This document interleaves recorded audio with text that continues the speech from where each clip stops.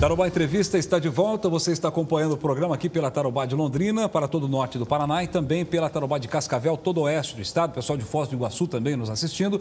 E eu quero também registrar que você pode acompanhar o nosso programa ao vivo agora no site da TV Tarobá, tarobalondrina.com.br, tarobacascavel.com.br. Assista ao vivo, é só clicar lá, você assiste as entrevistas, os programas, os nossos telejornais, tudo ao vivo. Okay. Doutor Antônio Nechar Júnior, eu perguntava para o senhor é, de alguns mitos e, e verdades okay. é, que existem em torno desse assunto que nós estamos tratando aqui. Tá. E eu quero começar por um que interessa para muita gente, que é aquela história de que se tomar um, uma tacinha de vinho ah. por dia não faz mal para ninguém, ao contrário, pode até fazer bem para o coração. É verdade isso ou não? Isso é verdade, sim. Tá? Isso nasceu de, um, de alguns estudos é, populacionais, tá? E de locais no mundo onde, onde pessoas é, têm uma longevidade, vamos dizer assim. Facilmente se passava dos 100 anos. Né? Algumas comunidades na Itália e em vários locais, e os pesquisadores foram ver o que acontece. Começaram, vamos, vamos estudar o que, que o pessoal come, né? Primeira coisa, vamos ver o que eles comem, né? Daí notaram o seguinte, esse pessoal quase que não bebia água, bebia vinho, porque eles fabricavam vinho em casa. São, uh, é um hábito milenar, né, no interior da Itália e tal. E esse pessoal bebia vinho desde a infância, um, um copo de vinho na mesa, assim, né? E começaram a estudar e realmente pegaram o vinho da região, estudaram, né? E o vinho é uma, uma bebida fermentada, que todo mundo sabe, e que tem um alto nível de flavonoides, né? São substâncias, e além disso, alto índice de vitamina C, né? Uh, algumas outras substâncias que são vasoativas, quer dizer, que têm um efeito dentro da circulação dos nossos, das nossas artérias. Né? Os flavonoides, por exemplo, são antioxidantes poderosos, né? evitam o envelhecimento celular, né? Uh, protegem o endotélio dos vasos, das artérias. Né? Então, é, é benéfico o vinho é benéfico. Né? Lógico, não vamos exagerar né? e começar a tomar uma garrafa por dia, mas é um, é um cálice. Sim. Tome como remédio um cálice de vinho por dia, tinto, seco, de boa origem, né? que não seja um vinho adoçado. Sim porque daí já perde todo o valor. Ah, isso é importante. O vinho doce é um doce, né? Não é. Os enólogos né, consideram que não é vinho, né? Isso não é vinho. O vinho doce não é vinho. Ah. O vinho é, é, o seco, de preferência essas, o tinto. Né? Com essas propriedades aí. É, preferência o tinto tem um alto nível de flavonoides, que vem da casca, né? Fermentação ah, da casca. É bem interessante, são estudos prospectivos bem interessantes. E tem mais alguma coisa assim que é, também, ou bebi, alguma bebida, ou até mesmo um alimento que tem esse, esse lado, esse resultado tá. impactante, positivo tem, no organismo? Tem. Todos os legumes verdes, né? É, você pode consumir à vontade, até exagerar, né? porque tem também alto índice de flavonoides. Né? É, chás, alguns chás. É, chá verde, por exemplo, é muito, muito interessante, é antioxidante poderoso. Né? Uhum.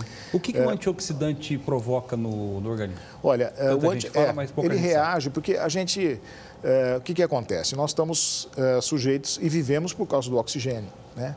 Só que a oxidação ela produz resíduos né, nas células e que, em excesso, podem matar as células né, ou determinar o envelhecimento precoce celular. E aí você envelhece como um todo. Tá? Então, o que acontece? O antioxidante, ele é, preserva a, a, a, oxidação. É a mesma coisa que você estivesse enferrujando, vamos dizer assim, tá?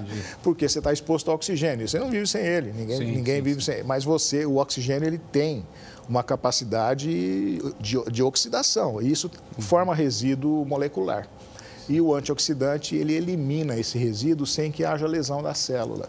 Porque se isso se acumula dentro das células, acaba matando as células. Entendo. Acaba né, é, sim, predispondo a uma morte precoce das células e você vai envelhecendo, você vai ficando, vai enrugando, vai, né? Uhum. Porque você vai perdendo células. Então, é baseado nisso aí. Entendi. Agora, o sistema cardiovascular, ele é muito beneficiado por, por, pelo vinho, por exemplo, pela, né? porque também tem um, tem um efeito de vasodilatação. Né? O vinho uh, tem substâncias que abrem as artérias, né? que se você toma um, um, copo de vinho, você está tenso, você vê que de repente você começa a ficar. É, porque, porque você começa né, a relaxar, suas artérias, microartérias começam a abrir você a circulação periférica melhora, né? E, e, isso é, é bom para o sistema cardiovascular. Interessante. Então é verdade, isso não é um mito, é verdade. Entendi. O indivíduo que, que morre jogando futebol, tá. É, o que, que é isso daí? É, é um, um é. esforço exagerado? Tem gente nova que morre jogando sim, futebol ou fazendo sim. outro tipo de atividade física? Sim, nós vamos entrar, Fernando, nessa, nessa seara, naquele grupo de morte súbita elétrica, hum. cardiológica, tá? Então, uh, o indivíduo ele está em esforço físico, né? de repente ele tem, pode ter um distúrbio elétrico súbito que provoca o que a gente chama de fibrilação ventricular ou parada cardíaca e o coração ele entra num ritmo caótico e para de impulsionar o sangue. Né? E não se recupera mais. Quer dizer, isso pode acontecer inclusive em corações normais. Né? Tá?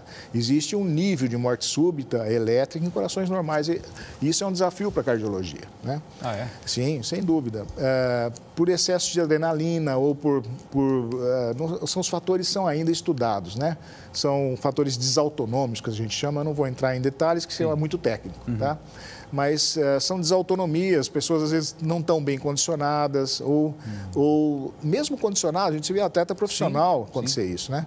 Então, o, o, fibrila, o indivíduo fibrila o coração, quer dizer, o coração entra em parada, fibrilar é entrar em parada cardíaca, uh, por uma questão que nós desconhecemos. Pode, existem fatores predisponentes, mas existe isso acontecendo em atleta e a gente vê toda hora. É né, daí né, que vem o desfibrilador? Aí que vem a, obriga, a, a, obrigatoriedade, por lei, em alguns locais, né, de você ter um desfibrilador ali. No campo de futebol tem que ter um desfibrilador ali, porque você pode salvar esse indivíduo.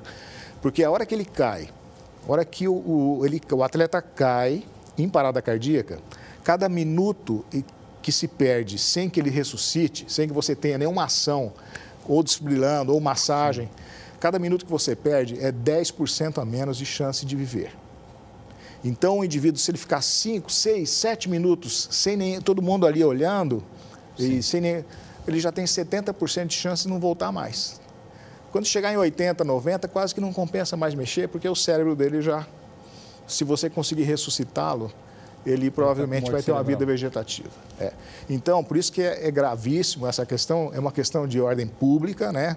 Em, é, em locais públicos, com circulação de gente, muita, muitas pessoas, esporte, tem que ter um desfibrilador, porque você oferece uma segunda chance. Você está oferecendo uma segunda chance. O indivíduo pode cair sobre si mesmo, qualquer um de nós pode acontecer isso. Uhum. Aqui pode acontecer a qualquer momento. Sim. Entende? Então, de repente... Tem gente que morre ao volante, né? Sem dúvida. Né? Então, um desfibrilador na, numa condição de um jogo, por exemplo, de um esporte, é uhum. é fundamental, né? Porque você oferecer uma segunda chance na hora. E quando é aplicado lá, é dado é, é um choque, é um né, choque. ali. É um choque. Ele volta, o indivíduo volta imediatamente, ele começa a. Pode Qual voltar. é a reação do, do indivíduo? Pode voltar, dependendo da condição, ele volta, né? Ele volta. E os desfibriladores hoje são totalmente eletrônicos, né? É, eles têm, têm sensores por exemplo, é, vamos supor que ele caia por um motivo não cardiológico. De repente ele fez um AVC ah, hemorrágico, ou sei lá, um AVC, um AVC e teve uma síndrome e, apagou. Né? Uhum. A hora que você coloca esses dispositivos, que você coloca no, no peito do indivíduo isso, ele faz uma leitura eletrônica uhum. para ver se o coração está ok. Se o coração estiver ok, ele, mesmo que você acione o dispositivo, ele não dispara o choque. Entendi. Porque se ele teve ele faz uma AVC, leitura, por exemplo, o coração continua, tá? continua. Normal, entendeu? Então, o próprio dispositivo identifica o ritmo cardíaco e vê que o coração está em ritmo normal, ele pode apertar que ele não solta Sim, o choque. Entendi. Entendeu? Agora, isso é interessante porque a gente vê com muita frequência esse tipo de evento, né? Tá. Até mais do que a gente imagina. E fica todo mundo que vai jogar futebolzinho no final de semana fica, fica pensando nisso. A pergunta é a seguinte: o leigo que está lá, os companheiros né, de, de, que está lá, qual é a orientação? Eu vou pela assim, pelo, pelo certo. Eu chamo o SAMU. Tá. Qual seria o certo aí? Você está jogando bola, você está numa chácara, um monte de amigos. Distante tem um pouco Já, da Está lá 15 quilômetros de Londrina. De repente, um amigo seu cai desacordado, tá? E você... A primeira, a primeira coisa é você tentar ver se tem pulso, tá? É, palpar, ver se você consegue sentir o pulso né, no pescoço, nas carótidas, né? Uhum. E, e, e, identificado que não há pulso, não há, imediatamente começar a massagear. Né? Não, não se importar tanto com a respiração, aquele negócio de boca a boca, aquela sim, coisa, sim. nada. 30 movimentos fortes no externo na questão, né? E, e, fazendo uh, in, uh, intervalos e fazendo uh, sequências de 30, 35 movimentos de.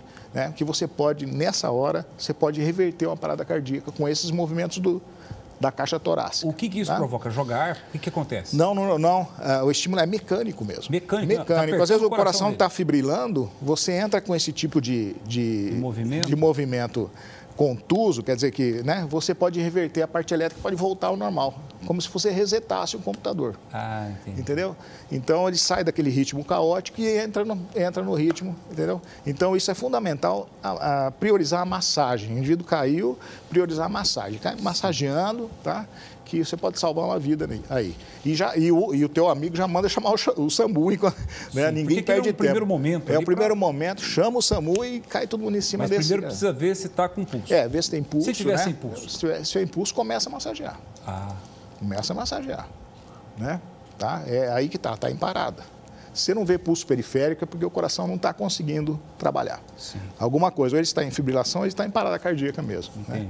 Então começa a massagear. Perfeito. É. Doutor Antônio Deixar Júnior, o nosso tempo aqui está terminando. Tá Quero okay, só Fernanda. aproveitar para agradecer a sua participação aqui no programa, agradecer ao pessoal do Hospital do Coração tá. por cedê-lo aqui para gente. Boa, seu maior prazer, viu? E Nossa. deixa o convite aí para uma próxima oportunidade falarmos Perfeito. de outros assuntos Estamos, a, estamos às ordens, viu, Fernando? A hora que você quiser a gente vem. E eu queria agradecer em nome eh, da Sociedade Brasileira de Cardiologia de poder estar aqui divulgando esse Dia Mundial do Coração, né? que prioriza a qualidade de vida. E a gente tem que ter qualidade de vida para poder desfrutar a vida, não é mesmo? E, eh, e tomar conta do seu coração direitinho. Tá, tá, certo. Doutor, tá certo? muito obrigado e bom dia. Obrigado você. Até mais. Conversamos com o doutor Antônio Deixar Júnior, cardiologista, sobre esse importante evento que aconteceu essa semana e deixa um alerta para todos nós no Dia Mundial do Coração. Semana que vem tem mais, hein? Um abraço a todos, continue com a programação da TV Tarobá. Tchau.